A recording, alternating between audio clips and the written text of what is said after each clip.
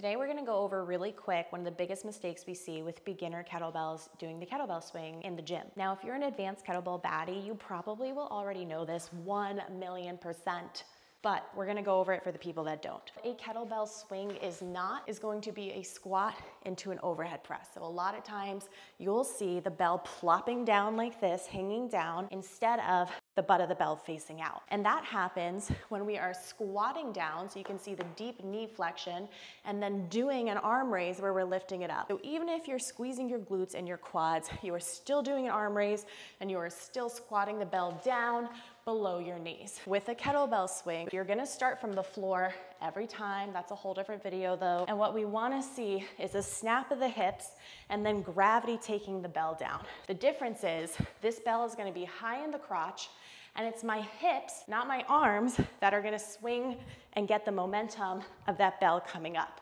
We find the pendulum because I'm then just gonna let gravity bring that bell down. You can always test this out because if I were to let go of the bell, it would float in the air for a few seconds.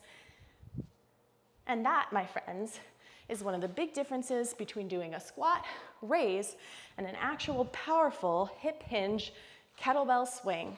Don't make that mistake. Don't let me see you doing it.